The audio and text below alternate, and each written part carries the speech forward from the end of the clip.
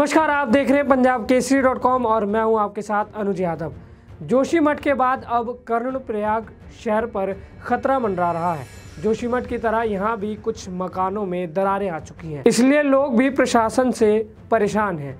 कर्णप्रयाग में भी दहशत का माहौल बना हुआ है। बता दें, उप जिलाधिकारी चमोली की ओर से जारी इस नोटिस में कर्णप्रयाग के बहुगुणा नगर के आठ मकानों को खाली करने के लिए नोटिस जारी किया गया है।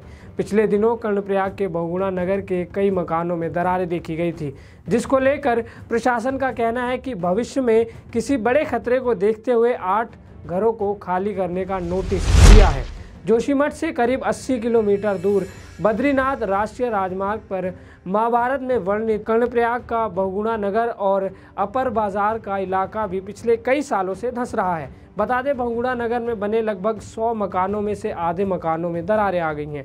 2013 के आसपास शुरू हुई ज़मीन धंसने की घटनाओं और दरारों के लिए स्थानीय लोग विकास को जिम्मेदार मान रहे हैं। कर्णप्रयाग नगर पालिका परिषद के पूर्व अध्यक्ष सुभाष गैरोला ने बताया कि 2015 में भारी बारिश के चलते बहुगुणा नगर की ऊपर की पहाड़ी से भूस्खलन हुआ था, जिसके मलबे से इस इलाके में नुकसान की शुरुआत हुई।